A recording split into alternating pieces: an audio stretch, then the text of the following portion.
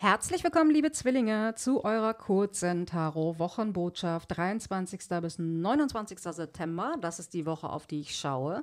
Und ich hebe jetzt einmal so lange Karten ab, bis mir eine Karte aus der großen Arkana über den Weg läuft und eine aus der kleinen Arkana. Und da haben wir sie schon. Eine aus der kleinen, großen Arkana. Nee, nee, nee.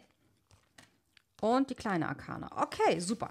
Dann haben wir hier die Mäßigkeit und die Vier der Münzen. Die Vier der Münzen ist mir heute auch schon über den Weg gelaufen ähm, für ein anderes Sternzeichen.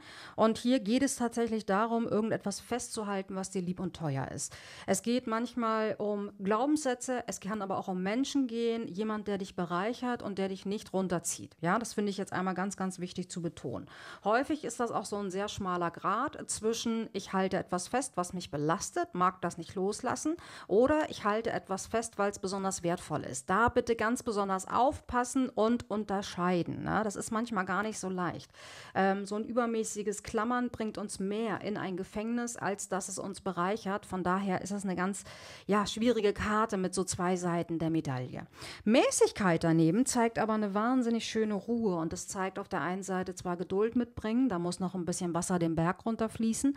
Auf der anderen Seite zeigt es aber auch so eine wie so eine wie so eine Pause, ja. Ähm, so ein bisschen am Wasserloch stehen, sich ausruhen, sich erstmal gut fühlen, durchatmen. Ne? Und das ist tatsächlich an der Stelle auch nochmal ein ganz, ganz wichtiger Hinweis. Also hier, ah, ich sehe keinen Kampf, ich sehe keine Konflikte, ich sehe eher ein Ausruhen, sich wohlfühlen, erstmal wieder alles in Balance bringen.